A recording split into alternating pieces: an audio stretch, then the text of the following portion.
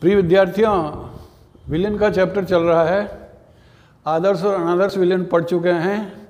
इसी का अंतिम भाग शुरू करने जा रहे हैं। स्थिर क्वाथी मिश्रण। स्थिर क्वाथी मिश्रण, जिसे अंग्रेज़ी में एजियोट्रोप एजियो ट्रोप कहते हैं।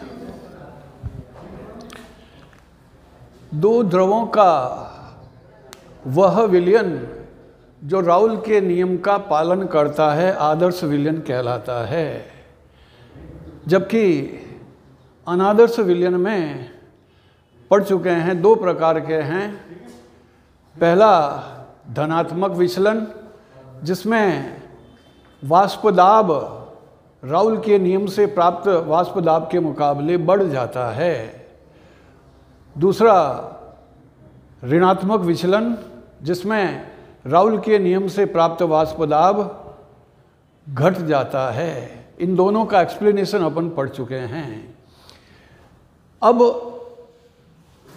क्वाथी का मतलब यहाँ पर क्वथनांक से है। हालाँकि इलेवंथ क्लास में पढ़ा है, क्वथनांक की परिभाषा, किसी द्रव का क्वथनांक वह ताप है, जहाँ निश्चित ताप पर उसका वाष्पदाब वायुमंडलीय दाब पर के बराबर हो जाता है। वायुमंडलीय दाब यहाँ अपन सामान्यतः एक वायुमंडल या एक बार लेते हैं। ऐसा देखा गया कि जो राउल के नियम का धनात्मक विचलन है, उसमें वाष्प दाब बढ़ जाने के कारण उसके क्वथनांक में कमी आ जाती है। इसे निम्न क्वाथी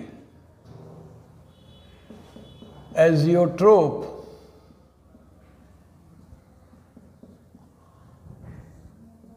या उच्च वाष्पदाबी विलियन कहते हैं। यह राउल के नियम का धनात्मक विचलन का उदाहरण होगा। चूँकि दो द्रवों के विलयन में उसका आंशिक वाष्पदाब, उसकी मोल भिन्न और शुद्ध अवस्था में उसके वाष्पदाब के गुणनफल के बराबर होता है। आदर्श विलयन में राहुल के नियम को अपन ने पढ़ा है। मगर अनादर्श विलयन में जिसमें ऋणात्मक, धनात्मक विचलन होता है, उसमें वाष्प दाब बढ़ जाता है और वाष्प दाब बढ़ जाने के कारण उसके क्वथनांक में कमी आ जाती है। उस निश्चित संगठन पर कंपोजिशन पर, हालाँकि वे दो द्रव हैं, मगर वह अकेले द्रव की भांति कार्य करता है और एक ही ताप पर उबलता है बॉइल होता है। इसलिए इसको फ्रैक्शनल डिस्टिलेशन से पृथक नहीं किया जा सकता, अर्थात प्रभाजी आसन से पृथक नहीं किया जा सकता है। आगे अपन अल्कोहल वाले भाग में पढ़ेंगे, जब किण्वन द्वारा अल्कोहल का औद्योगिक निर्माण किया जाता है तो जल और अल्कोहल का अत्यंत तनु विलयन प्राप्त होता है और उसी से फिर अपन एक रेक्टिफाइड स्प्रिट प्राप्त करते हैं, जिसमें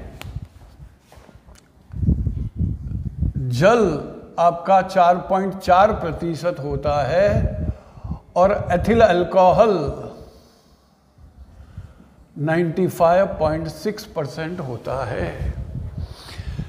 एथिल अल्कोहल का क्वथनांक अगर देखें तो शुद्ध एथिल अल्कोहल का क्वथनांक 78.5 या 351.5 केल्विन है, जबकि इसका 100 डिग्री सेंटीग्रेड, यानी तीन केल्विन है। मगर इससे बने इस विलियन का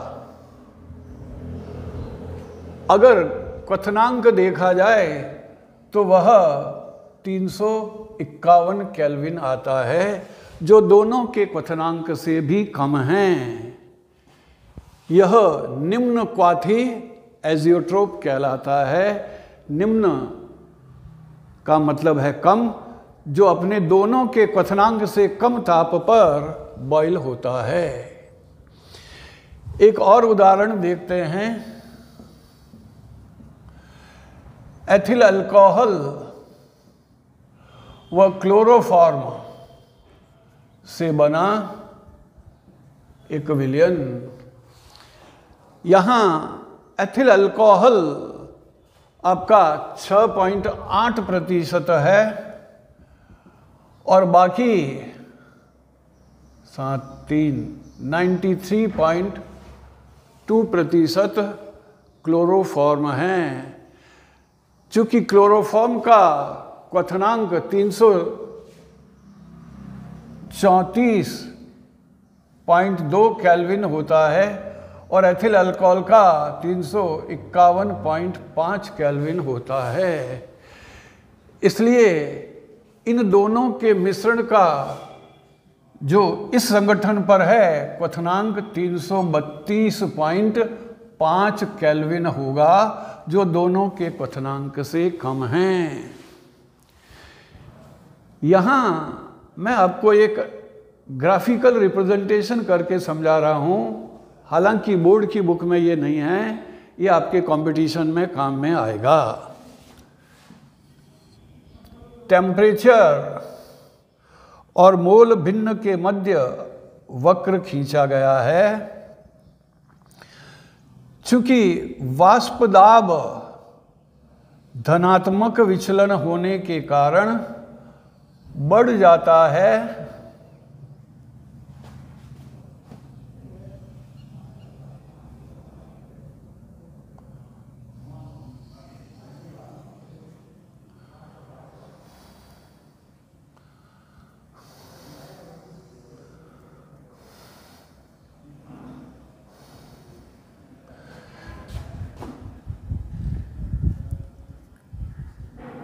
यहाँ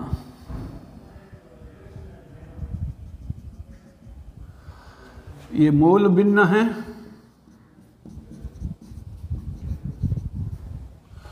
और यह ताप है। 300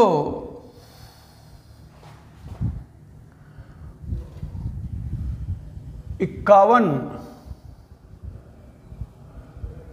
केल्विन पर यह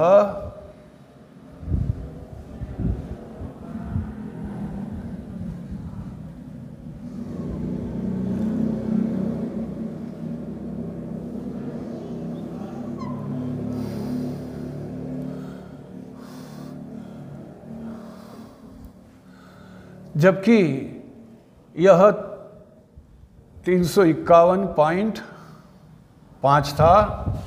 और इसको अगर देखें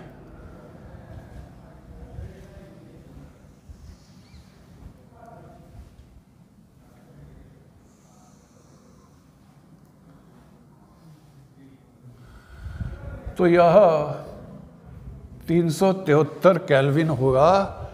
दोनों के क्वथनांक के मुकाबले इसका क्वथनांक कम हो जाता है।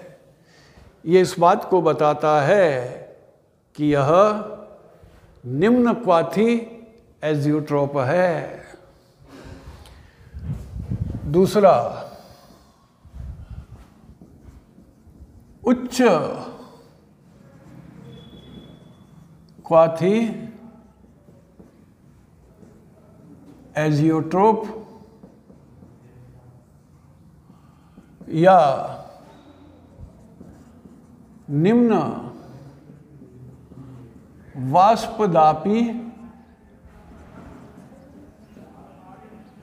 विलियन।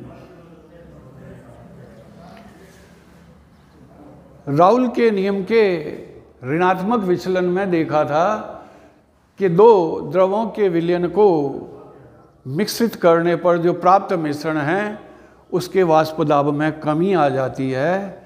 अतः वायुमंडल दाब के बराबर करने के लिए टेम्परेचर को बढ़ाना होगा। अपन कहते हैं उनके कथनांक में वृद्धि हो जाती है। यहाँ दोनों द्रवों का जो वास्तविक शुद्ध अवस्था में है क्वथनांक वो तो कम है मगर मिश्रण का क्वथनांक ज़्यादा है। क्योंकि दो द्रवों के एक निश्चित संगठन पर उसका वाष्पदाब दोनों घटकों के वाष्पदाब से कम हो जाता है, अतः क्वथनांक में वृद्धि हो जाती है। जैसे जल और एच जल की प्रतिशतता 79.8 परसेंट, जबकि HCL की प्रतिशतता 20.2 परसेंट। यहाँ जल का क्वथनांक तीन सौ तिहत्तर कैलविन है और HCL का क्वथनांक एक सौ अट्ठासी कैलविन है। मगर इनसे बने विलियन का जो क्वथनांक होगा, वह तीन सौ इक्यासी पॉइंट कैलविन है, जो दोनों के क्वथनांक से अधिक है। ये इस बात की पुष्टि करता है कि दोनों के क्वथनांकों के मुकाबले इस संगठन पर विलियन का क्वथनांक उच्च होगा, क्योंकि वाष्प दाब में कमी हो जाती है। यह राउल के नियम का ऋणात्मक विचलन है। एक और उदाहरण देखते हैं। जल और नाइट्रिक अम्ल 68 परसेंट नाइट्रिक अम्ल और 32 परसेंट जल जो सामान्यतः प्रयोगशालाओं में होता है, इसका विलयन बनाया गया है। जल का क्वथनांक 300 तिहत्तर कैलविन है और एच एन ओ थ्री का 359 कैलविन है, मगर इनसे बने विलियन का क्वथनांक 393.5 होगा 393.5 जो फिर इस बात की पुष्टि करता है कि इसके क्वथनांक में वृद्धि हो जाती है। इसे भी अपन ग्राफिकली रिप्रेजेंट कर सकते हैं।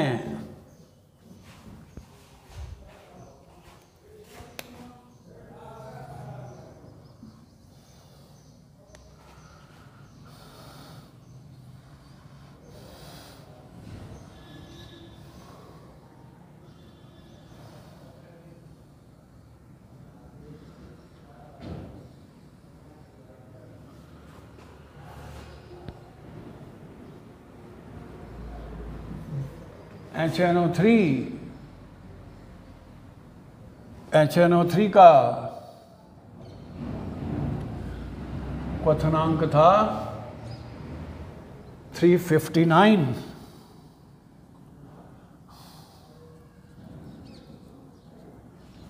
जल का क्वथनांक था 373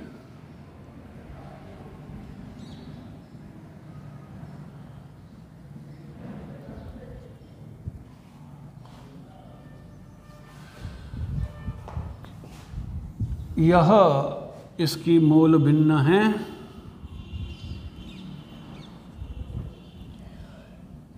इस संगठन पर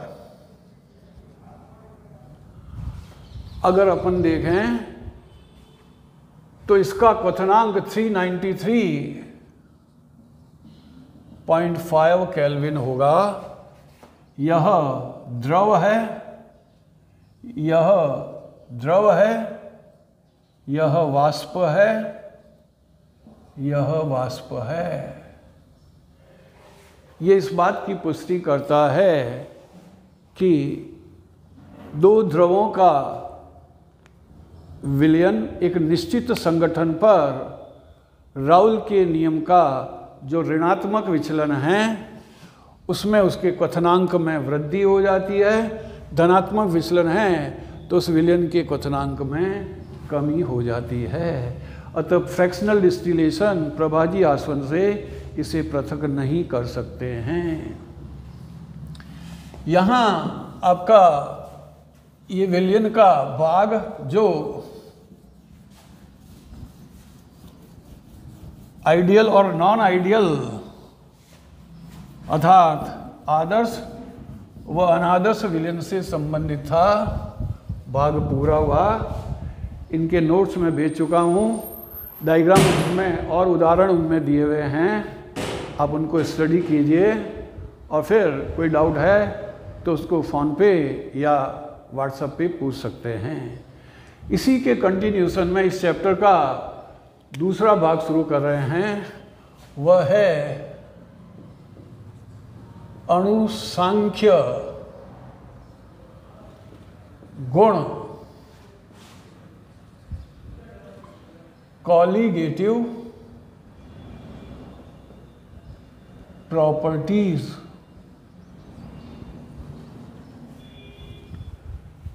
तनु विलयनों के वे गुण, जो उसके रासायनिक संगठन पर निर्भर नहीं करते, अपितु विलयन में उसके कणों की संख्या पर निर्भर करते हैं, मोल्स पर निर्भर करते हैं, उनकी मात्रा पर निर्भर करते हैं।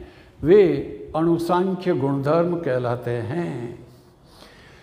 जैसे चार आपके कोर्स में हैं, relative lowering of vapour pressure, वाष्प दाब का अपेक्षिक अवनमन।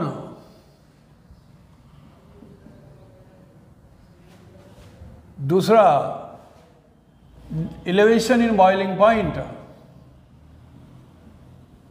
क्वथनांक का उन्नयन